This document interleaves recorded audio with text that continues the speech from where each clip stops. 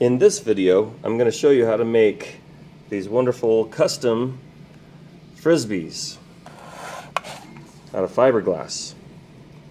And you can put whatever you want in the middle for decoration. And they fly good too.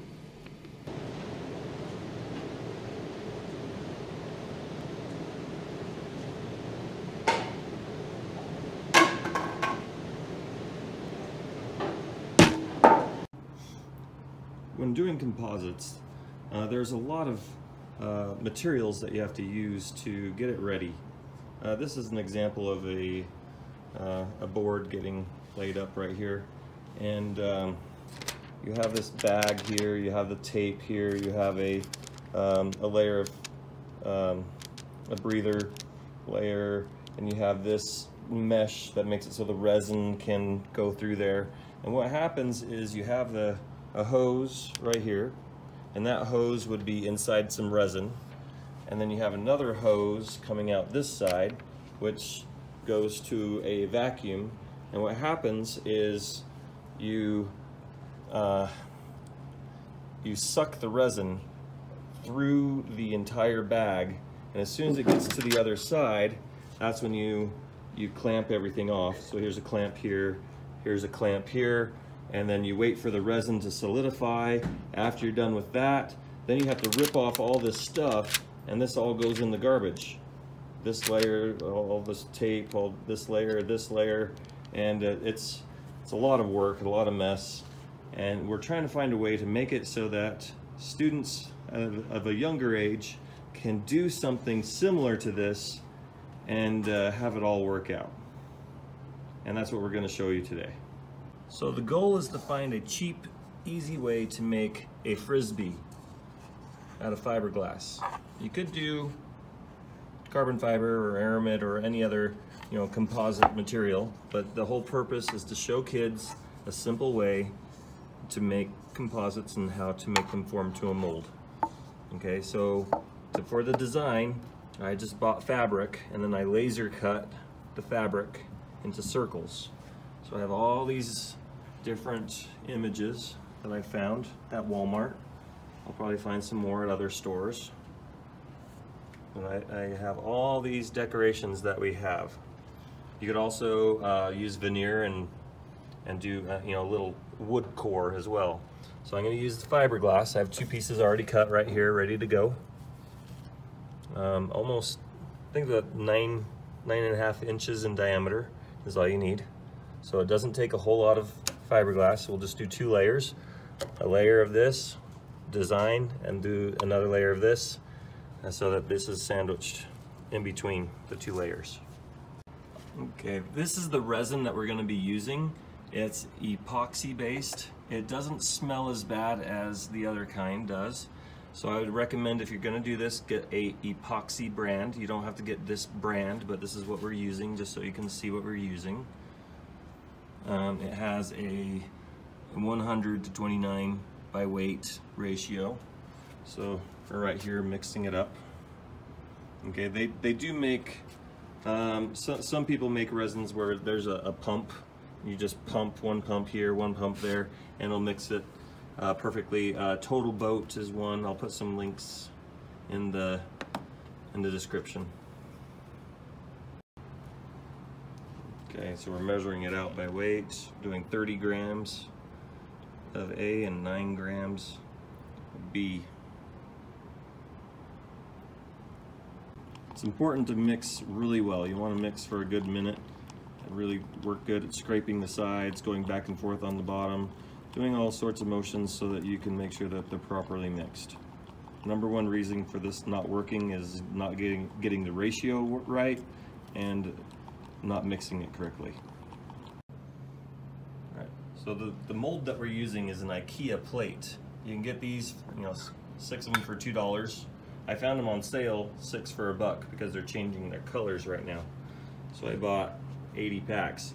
Um, this is Meguiar's Mirror Glaze mold release wax. All you have to do is just rub it on there with a cloth.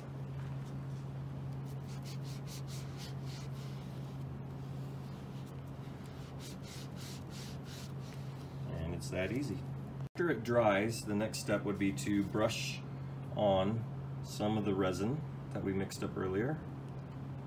This resin has about 20 to 30 minute pot life. You want a resin that cures slowly, so you have plenty of time to do each layer. Whole key is just to get the whole thing wet.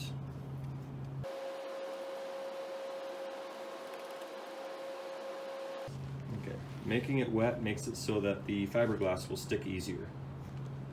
So we'll bring in the first layer of fiberglass.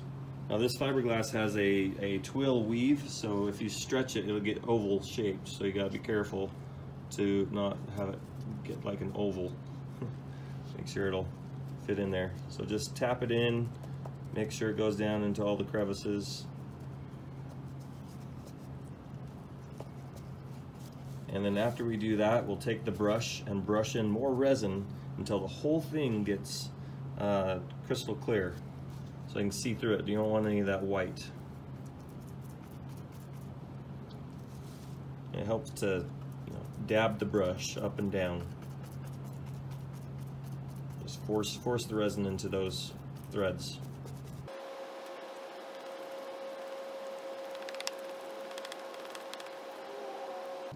You should go all the way up the edges too.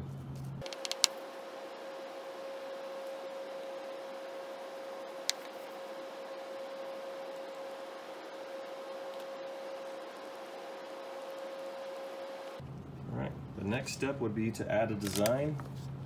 Did Spider-Man last time, now we're going to do Batman. Put the image face down. You could also print on paper um, or, or wood. There's all sorts of things that you can put as the, the core material. So once you place it, you know, tap it down and then get the brush and brush on more until it becomes, uh, you know, wet. You'll definitely see a change in the uh, image so you can see it better.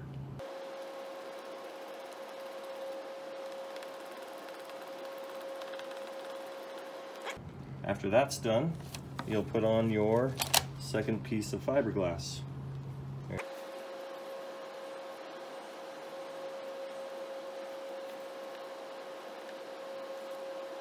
So what we're doing different than the typical way is that we're putting the resin in now. We're not using a infusion method where they suck the resin in through a tube and then out the other side.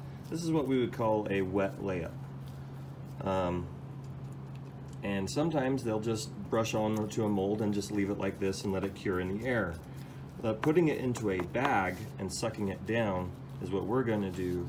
Will make the layers uh, consolidate way better and uh, it, it, just it just makes the uh, the whole product perfect. it forms to the mold way better than just doing it like this and just leaving it outside to, to dry. Next is to get a bag. We have these Ziploc bags. You can buy cheaper ones. This one we figured out was about 66 cents per bag.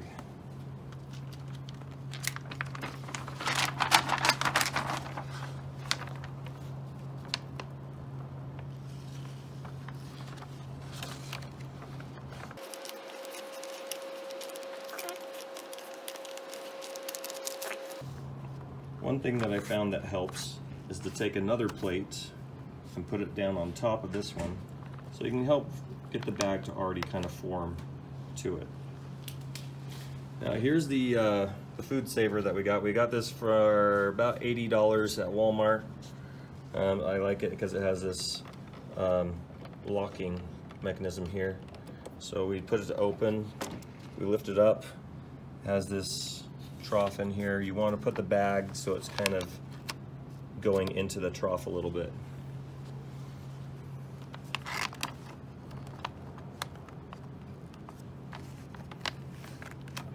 Right inside the, there we go. Then we're going to bring it down. We're to lock it. And then all you have to do is hit the uh, start button vac seal button. and it's going to suck it down in there.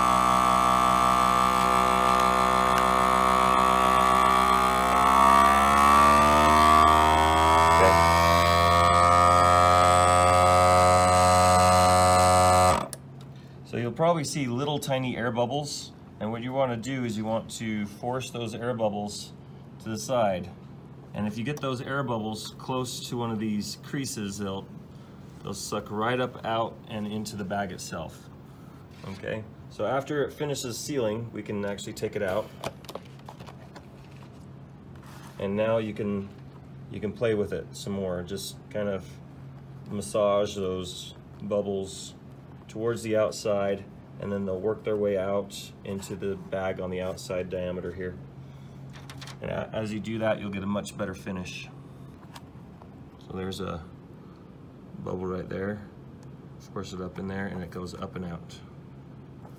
Okay, so if you work from the middle and work your way out, you can get rid of all those little air bubbles and it'll look really nice when we're done. So after this point, uh, you just wait till the next day and then we'll tear it apart.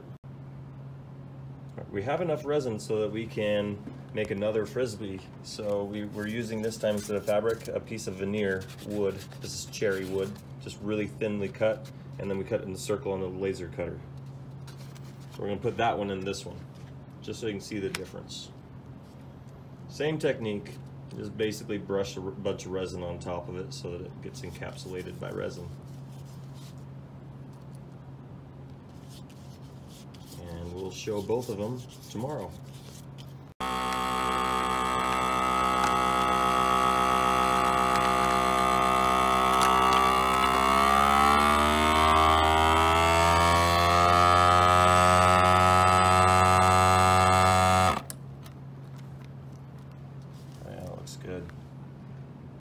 All right, it's the next day, and uh, here they are. It's a lot more rigid.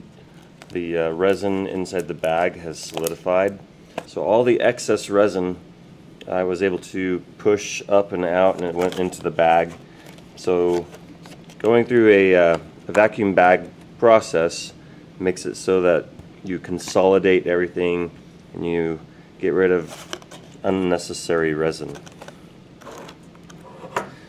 So went to Harbor Freight. I bought a left-hand cutting aviation snips. Left hand means that it cuts to the left.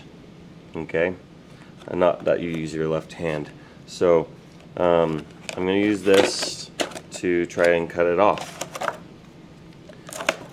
I think it's going to work best upside down, so I'm going to try that.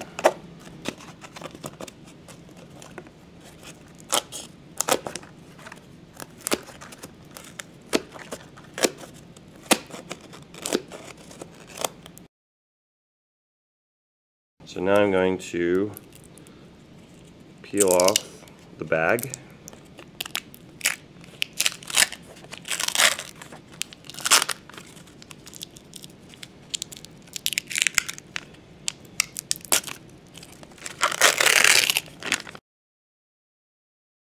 Comes off fairly well. There are places with, where the creases are that it's harder to get off, but it shouldn't be too bad.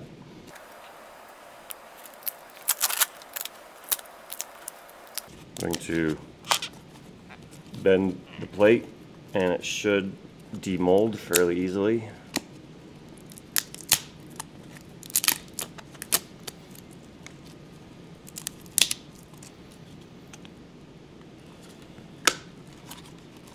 Voila. Here we go. You can kind of see the uh, the pattern that the plate has in the bottom of the plate that transfers to your to your coat there. Um, you can't really avoid that, but it gives it kind of a cool pattern. Uh, there's still some more I need to trim. Um, I'd rather you'd not trim off too much, so um, trim it as close as you can without doing too much, and then the rest of it I would say to wet sand uh, under underwater you don't want to get a bunch. You don't want to take this to a belt sander and have um, fiberglass dust all over the place. It's not good to breathe. So you want to do, use wet sanding to finish the edges. But I'm going to trim it some more.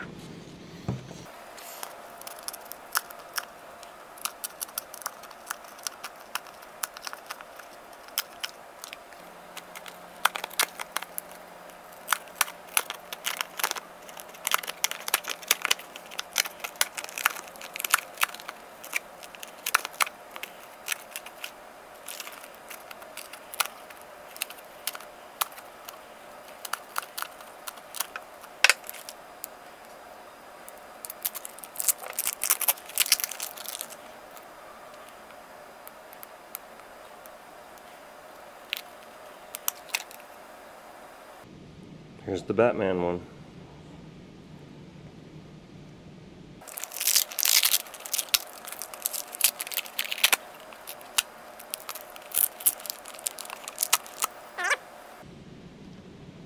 Now, compared to traditional methods of doing uh, composites, this is a lot less uh, scrap and waste. So may look like a lot, but this is nothing compared to having all those other layers and bagging tape and hoses and stuff that were in the other method I showed you.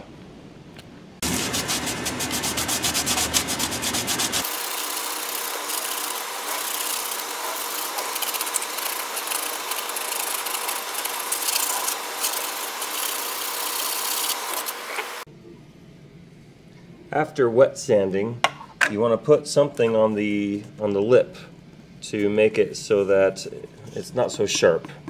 Just uh, some cheap electrical tape will work. Uh, I found that there's some other things out there. Anything that is stretchy uh, will work. So this is uh, a Kinesio tape. is an athletic tape. So it's more. This one is more of a fabric uh, like tape on this one. So Find, find something that's really sticky and has a little bit of stretch to it and it'll work really well to uh, make that rim so it's not, uh, it doesn't have a, a sharp edge on it. Uh, another thing that I did to this one is I bought some uh, rubberized spray, some Plasti-Dip spray and sprayed it on here. It makes it more rubbery, but eventually, you know, it can flake off.